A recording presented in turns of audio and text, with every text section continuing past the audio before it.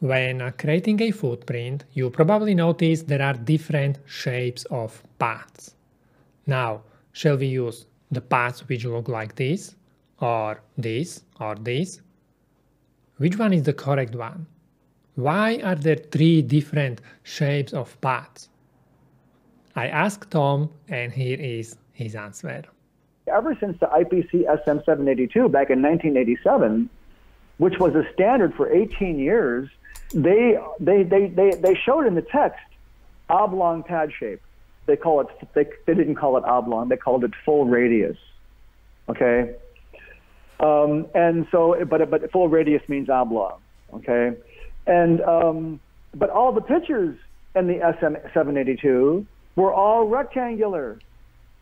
And so people who didn't read the text created rectangular pad shapes. And I believe that that's where the component manufacturers, they got a hold of the standard and they looked at all the pictures and all the pictures had rectangles. And so they made all their recommended patterns, but rectangles. Okay? And so even though the standard says oblong, the manufacturers, component manufacturers recommended rectangle pad shape. Now, what we recommend at PCB Libraries is the uh, uh, rounded rectangular pad shape, because if you have a rectangular pad shape and you give that data to the, to the assembly shop and they make the, the, the stencil, the stencil is the picture in the middle, okay? And the picture in the middle has um, rounded corners.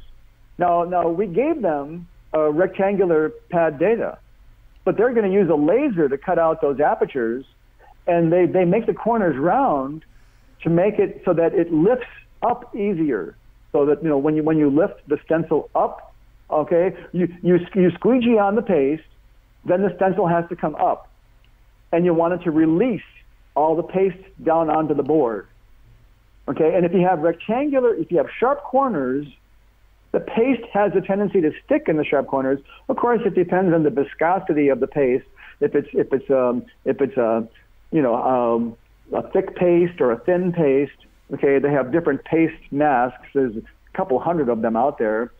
So, but but but people would have trouble with uh, the paste sticking in the corners of the stencil, and so therefore they round the corners so that they get a, a better release.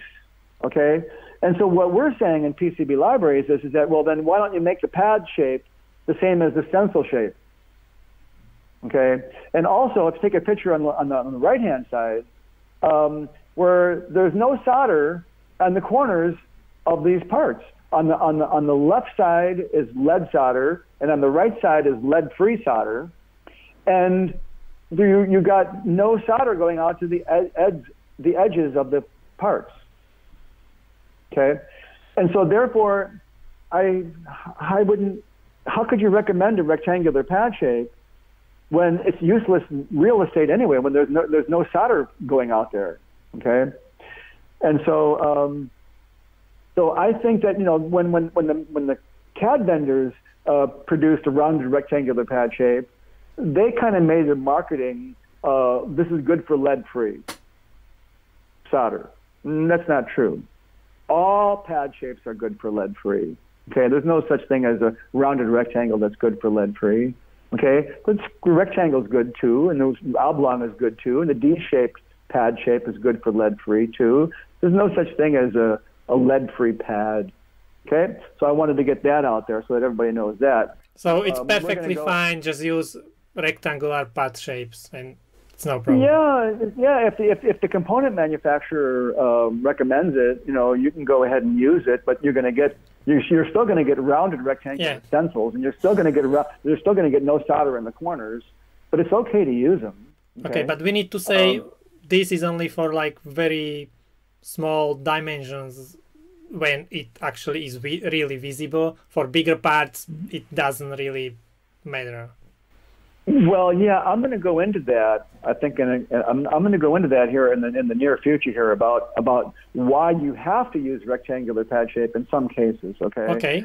So let's go ahead and flip this flip the um, slide here. In these parts right here, these are these are called uh, DFN, called dual flat no lead parts. And then the bottom picture in the bottom right is a is a is an LGA, a land grid array. Okay. Now, if you're using these parts, you have to use a rectangular pad shape. You can't use a rounded rectangular at all because because the pad is one to one scale of the of the, of the lead. Okay, so because believe me, this part and, and this this part here and, and up here, it, it, might look it might look big. Okay, um, but um, but it's really only uh, one millimeter by a half mm-hmm. millimeter. Mm-hmm. It is so small. It's micro small, right? You could put a thousand of them in the palm of your hand. Okay, and therefore the the the the, the, the pad size and shape have to be very very close to one to one scale of that of that component lead. Okay, and and you know and the same thing with the land grid array. The land grid array is sort of like a BGA but with flat leads or whatever, and and and, and the pad size is almost one to one scale of the lead, of the of the terminal lead. Okay, and so for for these component families here, you have to use a rectangular pad. So you have to know when to use an oblong pad, when to use a rounded rectangular pad, when to use a rectangle pad. You, you know, designers have to know, and librarians and managers have to know when these pad shapes come into play. Okay? So, can we say like it is safer to use than a rectangular pad shape always? Um, you are not going to do anything wrong if you always use rectangular. You're, you're not you're, you're not doing anything wrong.